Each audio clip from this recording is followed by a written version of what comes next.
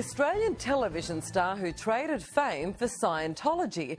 Manuela Oliveira is a singer and dancer who made it here, then moved with her boyfriend to Hollywood to realise their dream of breaking into the big time.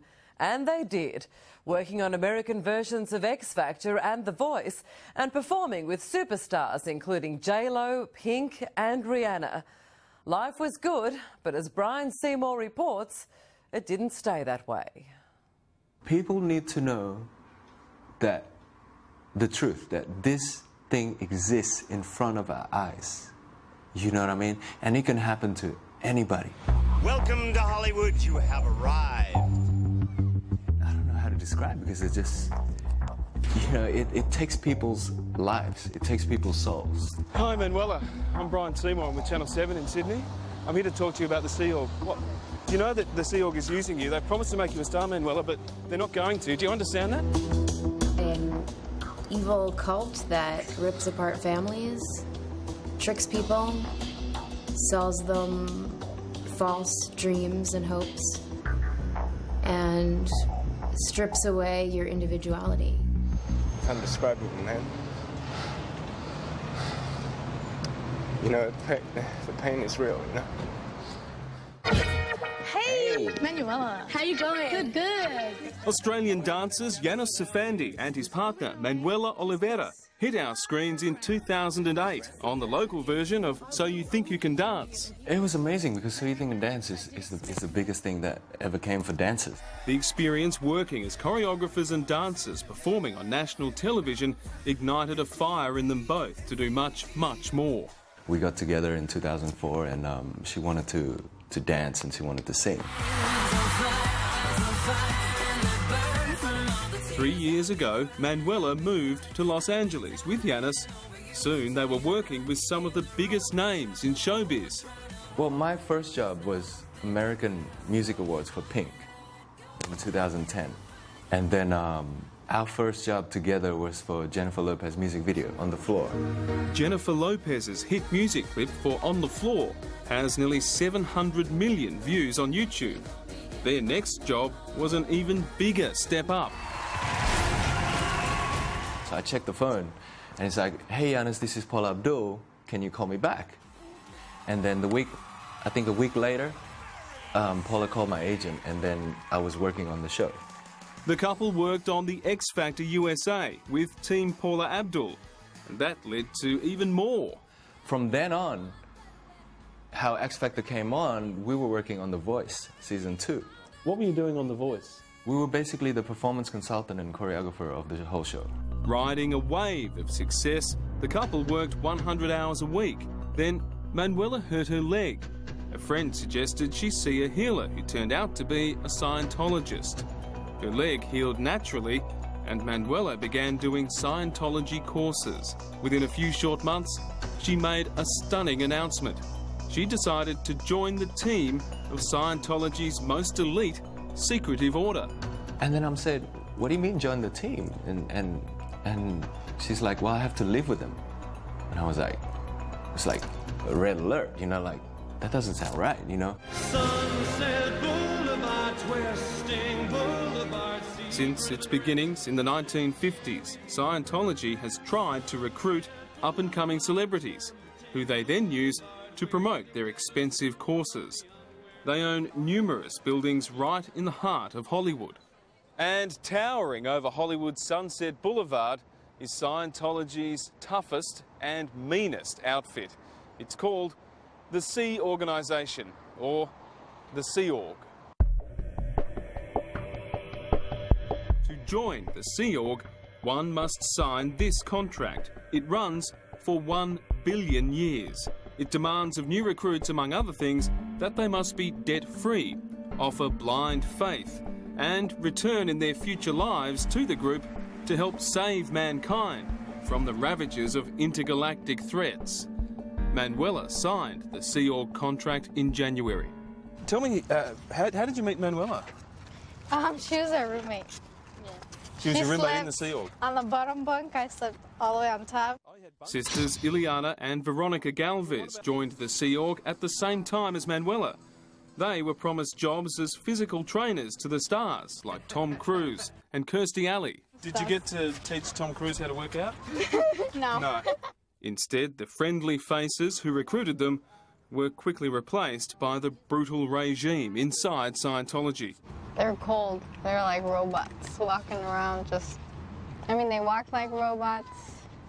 Um, when they talk to you, they treated you like you were lower, lower than dirt, you know?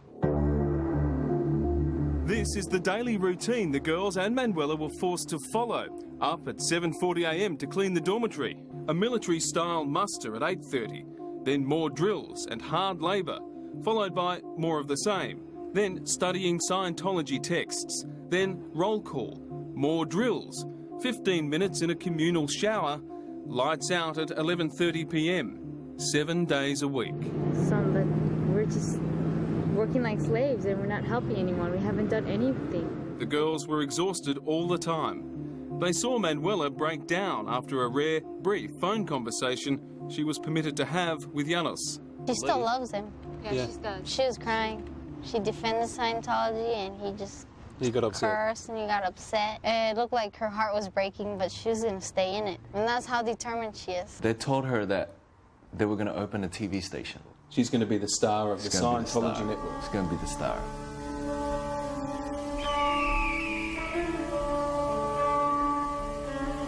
We're in the desert, about one and a half hours outside Los Angeles. This is Scientology's international gold base. It's a massive, sprawling complex all around me. This is where Manuela would supposedly be made an international superstar.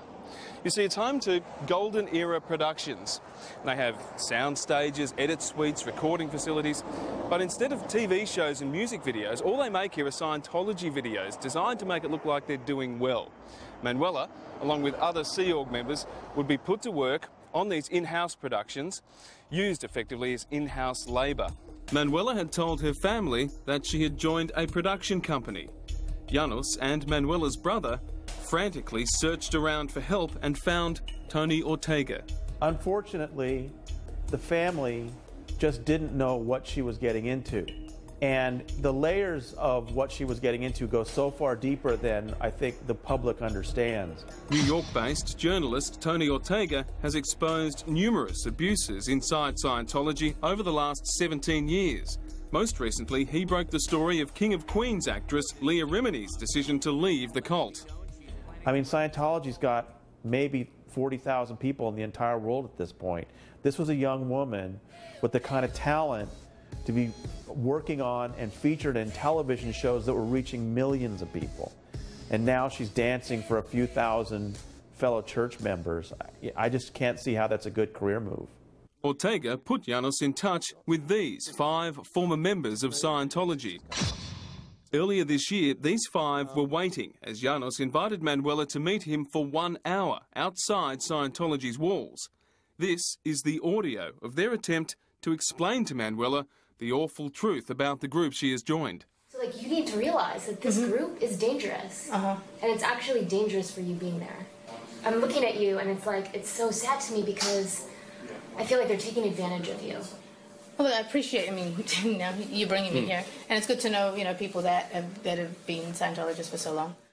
Me and my wife, we had 20 private investigators a day for a year and a half following us in front of our house. Tiziano Lugli and his wife Jamie escaped Scientology three years ago. They're both now dedicated to helping others escape. If you're like, you know, let's check it out. No, no, no. You can't just check it out. You know, you gotta, you, you're either with us or you're against us. You've probably seen Michael Fairman in dozens of TV shows, including Sons of Anarchy, The X Files, Murder She Wrote, and Seinfeld. Would you ever consider coming to work directly for me? Really? That's when it actually becomes a true cult. Because the answers are only in Scientology and nowhere else. And if you try to look somewhere else or you question it, you're dead meat. Michael's wife, Joy Grayson, is a voice coach and singer. She says Scientology promised her they would make her a star, but she realised it was a lie and got out of the Sea Org. It's controlling you with fear. Fear of the unknown of what happens after you die. Fear of not being of being cast out of the group. fear of being cast out of your own family. A cult, a dangerous one at that. Um, it is uh, completely, entirely uh, about money. Tom DeVocht was in the Sea Org for 28 years. He rose to become head of construction and a close confidant of Scientology leader David Miscavige, who is Tom Cruise's best friend. In the Sea Org, you don't watch TV, you don't read magazines, no contact to the outside world. Your programs, I guarantee you, 99.9% of the people don't even know about you or know about the programs. So it's very much a controlled uh, scene.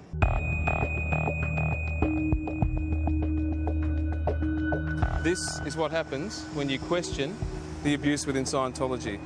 A man in black with a camera shows up every time. What's the lockdown? It's a security drill. They lock all the doors, they keep all the public and the staff inside so they can't run into us. It's like a fire drill, but everyone stays in the building. Exactly. that way they can't get into contact. They won't hear what you're saying. My name's Bryan Seymour. I'm a journalist with Network 7 in Australia. We're filming a story on Scientology. All of these Scientology called the police and accused us of being threatening and aggressive. Well, he's filming us, so if we do it, he's got us on camera. The point of calling the police is this guy. He films the officers talking to me. Then Scientology tells its members that I am in trouble with the police and they'll show them this video shot. It seems ludicrous, but Scientologists only read and see what they're shown. So that's what Manuela will also be told. Officers, thank you so much. You've been very polite. I'm sorry that they've wasted your time, but thank you very much. We'll, sti- we'll stick to what you've said, absolutely. Good on you guys, thank you. Why didn't you want your family to know you joined, Manuela? Can you talk to me? Just please, can you talk to me for a second? I just to want to ask you a couple of quick questions. Your brother attended an intervention with, with former Scientologists. Did you hear what they were saying about how children are forced to hard labour? Let me- What sort of hard labour were you doing, Manuela? Can you talk to us about what's happening to you, please? I'm sorry to say, I think Manuela's very, very committed to the Sea organisation and her billion year contract. She made it seem like they promised her she was going to be singing and dancing all the time and she was going to be involved in some television production or whatnot. Um, and we all just kind of shook our heads and laughed to ourselves because it's just a complete fabrication. It's fine. The truth will come out. Well, the truth will come out. The truth is coming out in this story. Scientology claims Sea Org members are free to come and go and make their own decisions. They also claim those criticising Scientology in this story are anti religious zealots. And they accuse us of harassment and manipulating the truth. But those who have escaped, including Jenna Miscavige Hill, the niece of Scientology's leader, say that is a blatant lie. They claim their phone calls and emails are controlled by Scientology staff.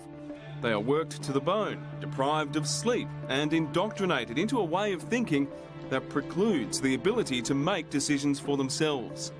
You know, I realized that's what cults and, and, and mind control and brainwashing is to change your identity. It's just frightening to me that it can that it can still happen in this day and age.